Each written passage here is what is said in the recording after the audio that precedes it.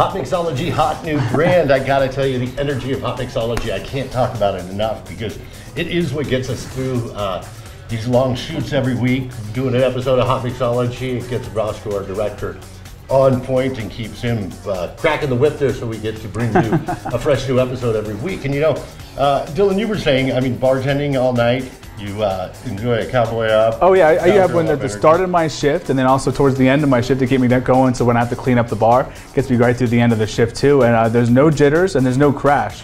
Right, and you know, we talk so much about the Cowboy Up, Cowgirl Up energy drink, and uh, I want to hit the other products that they have, which are the energy shots. And from the uh, Cowgirl Up energy shot with the uh, electric lemonade, or the uh, Cowboy up with the uh, with the white lightning. White Lightning. You know, these are great, these shots, because different than some of those other shots on the market.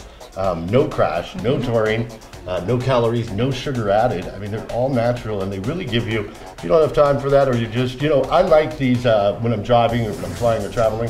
One of these, it's easy to carry with you and uh, they're just great with the flavors of them, huh? They, they taste delicious unlike any other drink on the market, and they're, they're, love the portability. Because when I'm working behind the bar, I don't have time usually to sit there and enjoy a full cowboy up or a cowgirl up. I need that quick shot right away. As I'm looking at three deep people wanting to get cocktails from me, I need that fast. It's the best way to keep your energy going without that crash, all natural. Salute everybody, it's Hot Mixology with the hot new brand, the energy of Hot Mixology, Cowboy Up and Cowgirl Up. Salute everybody. Salute everybody.